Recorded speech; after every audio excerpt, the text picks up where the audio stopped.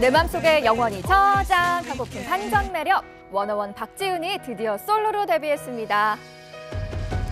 걱정과 불안은 no, 당차고 씩씩한 모습으로 강한 자신감을 보인 박지훈.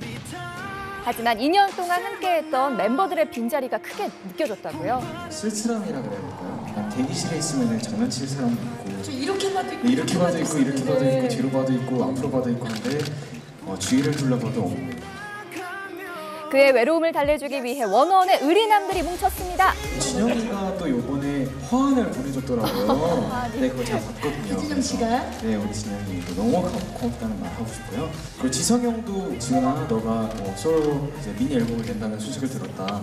어, 그래서 널 정말 응원하고 있으니 앨범 나와서 앨범 나와도 스트리밍을 열심히 하겠다라고 응원을 해줬어요. 그리고 성훈 형도 이제 앨범 준비하는 게 힘들지 않냐고 그래서 안 힘들다고 저는 괜찮다고 그래서 화이팅 하라고 형 응원한다 이렇게 고마운 마음을 가지고 있습니다. 원어원 활동 때와는 180도 다른 신비로운 매력으로 여심을 훔칠 예정이라고요.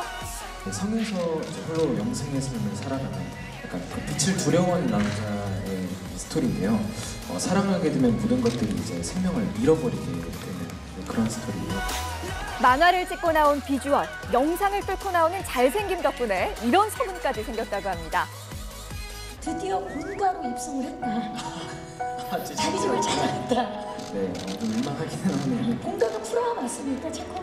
어, 네, 본가가 프라하고요. 네, 지금 이제 사장님들 뵈러 네, 왔습니다. 마포에 살고 있는 걸로 알고 있는데. 아, 알고 들켰네요. 마치 성의 주인처럼 자연스럽고 멋진 모습이죠. 그런데 여기엔 숨은 비밀이 있었습니다. 성 입구에서 춤추는 그런 씬이 있었는데 바닥이 네, 되게 울퉁불퉁해요. 그래서 거기에서 뭐 가끔 넘어질 뻔한 적도 있었고 울퉁불퉁하더라고요. 그래서 상당히 조심하면서 춤을 췄고요. 마포구 왕자님의 첫 솔로 데뷔곡 Love 어떤 곡인지 궁금하시죠?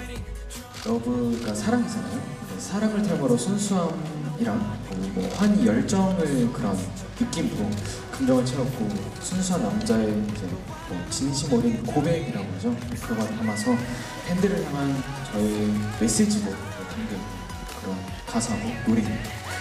사랑스러우면서도 애절함이 가득한 Love 무대 바로 만나보시죠.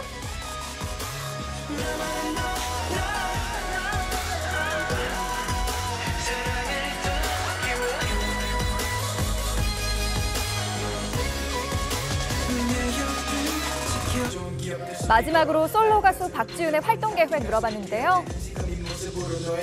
그리고 또 앞으로도 가수로서의 그리고 배우로서도 계속 다양한 매력을 준비하고 또 연구하고 모습을 보여드릴 계획이 있으니까요.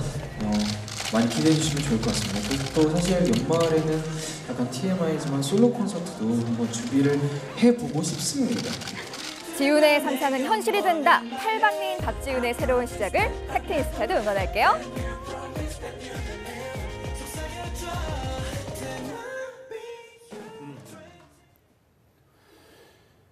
그래요. 저 2017년도인가 그때 뭐 저장 저장 해가지고 네, 내 맞아요. 마음속에 뭐 저장 오, 이래가지고 잘하시네요. 아, 나는 아 좀 더 확실히 보여주세요. 네. 왜냐면은 안이 들어올까봐 쓱 이렇게 해야지 정확히 하면 안 돼요.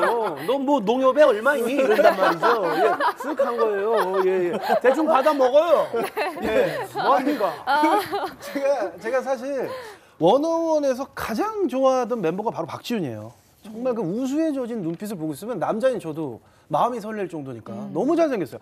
그렇지만 그렇지만 박지훈의 그 솔로 활동에 대해서는 좀 더 객관적이고 좀 드라이한 평가가 좀 필요하다고 봅니다. 일단 그 사실 이제 이번 컴백 직전까지 박지훈의 어깨는 정말 무거웠을 겁니다.